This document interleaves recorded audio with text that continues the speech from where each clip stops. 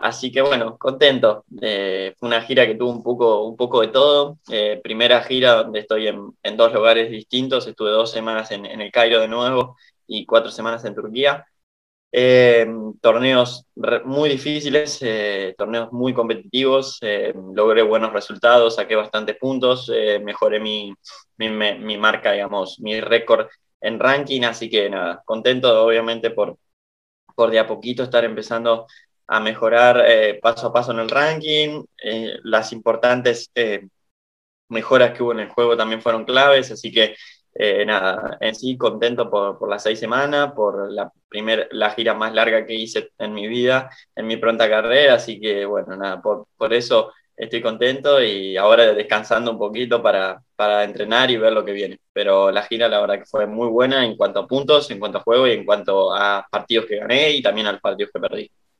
Sin embargo, Mariano, hubo que eh, luchar contra la cabeza, la competencia internacional que era, que era alta y adaptarte. Y en eso estabas vos solo, entre todo eso, no estaba tu técnico, así que bueno, había que saber lidiar con todo eso. Sí, mira, realmente desde que estoy en la etapa de profesionales, excepto que haya jugado en Argentina, eh, a todos los torneos que, que, fui, eh, digamos, afuera, en, giras internacionales, eh, siempre fui solo. Y creo que por un tiempo voy a seguir yendo solo porque básicamente en el tenis eh, se da un poco esa, contradicción de que no nos, no nos pagan tan bien y no, no podemos ir eh, con coach o salen muy caros los costos y es eh, muy difícil poder viajar con un coach. Así que bueno, a los coach o a la gente que uno ayuda y que entrena, se los tiene más online, ellos de Argentina y uno allá. Y bueno, en el mundo que estoy yo en el primer nivel del tenis es muy normal que viajemos muchos jugadores solos. Después, bueno, tenés a los europeos que tienen otras facilidades para llegar a los torneos y las cosas son mucho más baratas y sí suelen viajar con coach y demás. Pero, pero bueno, sí, eh, cada vez que un sudamericano viaja afuera se enfrenta a esa realidad. Eh, no solo yo, un montón de jugadores, eh, la gran mayoría,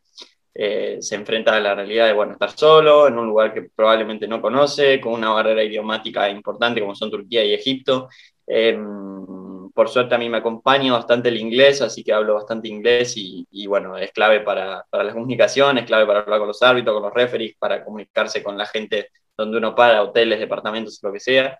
Eh, así que bueno, tiene todo un componente eh, grande de, que uno enfrenta esa vida sola, pero la enfrenta sola, pero a su vez la enfrenta con jugadores, porque hay muchos jugadores argentinos o sudamericanos que están allá ahora. Cuando yo me fui, eh, algunos siguen estando, otros se volvieron, otros empezaron a ir ahora. pero bueno, muchas veces nos juntamos tres o cuatro jugadores o dos o tres jugadores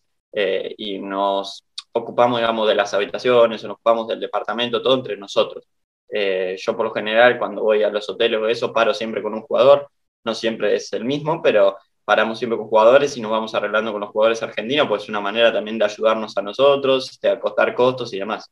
Decías que, digamos, no es que fue complicado, pero fue un, un poco difícil superar todo eso.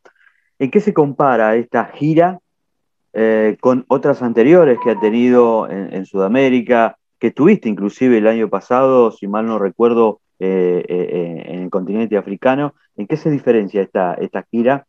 con, las anteriores? Que la, que la hace distinto y que te, hizo trabajar un poco más para este, estar acorde y responder a la situación? Em, ahora estamos, bueno, ahora estamos en junio, pero cuando yo me fui de gira era la última semana de abril, me parece o la tercera semana de abril. Eh, entonces, de la última gira que yo había hecho en diciembre, no había pasado tanto tiempo. Ah, para el tenis cuatro meses es mucho, pero yo no lo sentía como tanto tiempo. Pero se dio la casualidad o no, que no hay tantos torneos ahora en el mundo y los torneos realmente donde fui a jugar, sobre todo los de Antalya, estaban muy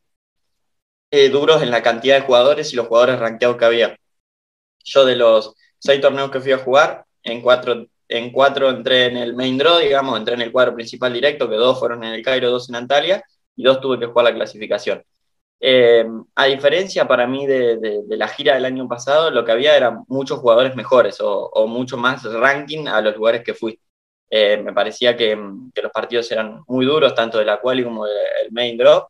y creo que en eso tuve bastante mérito porque al jugar partidos más difíciles y todo, y, poder, eh, digamos, subsistir y poder llegar a ser a tres cuartos de final, uno en el Cairo, dos en Antalya, una final de dobles, eh, dos semis más de dobles, o sea, eh, pude en un, en un, lugar donde se habían hecho más duros los torneos, más pesados los jugadores y demás, me, me pude, pude sobrevivir y levantar mi nivel y jugar mucho mejor, porque bueno, la exigencia era mucho mayor. Así que creo que lo que comparo sobre todo de esos lados, que la gira del año pasado en el Cairo estaba, estaba dura, era difícil con los jugadores que había, pero esta todavía estaba más dura. Pero en esta jugué mucho mejor que en la pasada. En la pasada, la diferencia también es que hay, es que yo venía de ocho meses sin competir, no jugué ningún torneo antes ni nada, llegué a Sharm el Sheikh, ahí a Egipto, a jugar directamente después de ocho meses eh, de estar sin competir. Y ahora ya venía con más competencia, con más rodaje, pero poco. Eh, por, bueno, por todas las complicaciones que ya sabemos que hay en el mundo hoy. Entonces lo que comparo era que mi situación era totalmente distinta en la gira que encaré el año pasado, que los cuadros eran difíciles, pero no eran como estos, y en esta gira lo encaré con un poco más de rodaje, pero en cuadros mucho más difíciles,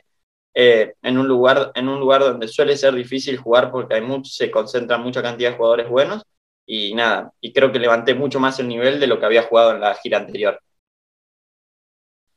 Eh, creo que dentro de la misma gira hubo dos giras, digamos, por la parte en el Cairo y la primera semana en Antalya, vamos a partir la gira en, tres, digamos, en dos, eh, en dos pares de, tres semanas.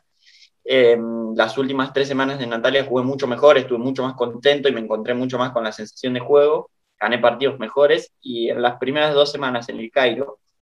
y la primera semana en Antalya me encontraba dudando, no me sentía confiado, no sentía que mi juego salía y eso que en resultados fue similar pero era muy distinto el camino que hacía yo para llegar a ese resultado. Entonces en el Cairo lo que me pasó un poco es como que llegué a ese resultado, pero con confianza, no sintiéndome bien, sintiéndome que me costaba, que no, no, podía, no me salían los golpes con cierta naturalidad, que no podía competir bien, que estaba muy nervioso. Probablemente siempre cuando haces una gira larga eh, y hace mucho que no competís, es muy normal que vos las primeras tres semanas no te sientas tan bien y las últimas tres mejores un poco y por ahí a la quinta es en el mejor momento donde vos estás y en la sexta el cansancio, el cansancio ya empieza a jugar un poco un factor importante y, la sensación de poder volver y demás.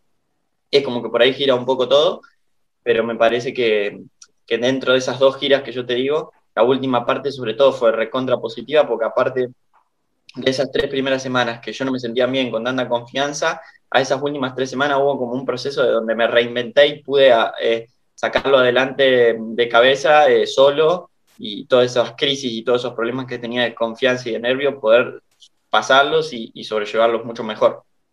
Sí, físicamente, real, eh, físicamente me siento bien. Eh, no, no, tuve ningún problema físico allá, gracias a Dios. estuve, me sentí bien, me sentí mucho mejor las últimas tres semanas en cuanto a, a, poder dominar mejor mi físico también, pero hice los procesos de recuperación bien y demás, y ahora lo que uno llega más que nada es un, con un cansancio mental. A ver, es rara lo que digo, porque bueno, uno está viajando y viajando por el mundo, jugando a lo que le gusta y es raro esa sensación de cansancio y todo, pero bueno, eh,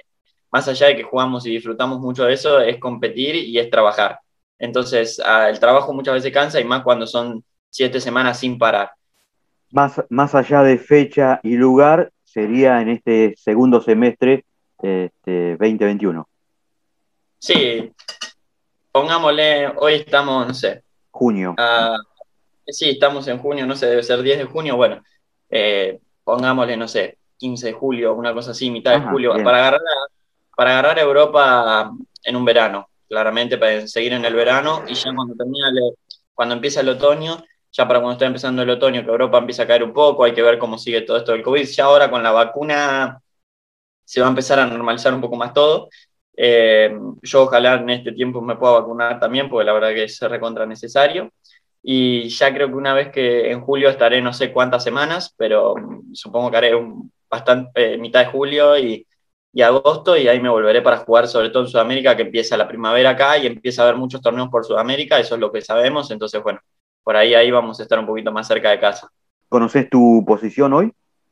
La última, no me acuerdo si era 733, pero, pero creo que esta semana, eh, este lunes no cambió, pero cambia el lunes que viene cuando termina Roland Garros y creo que voy a terminar top 720 o una cosa así.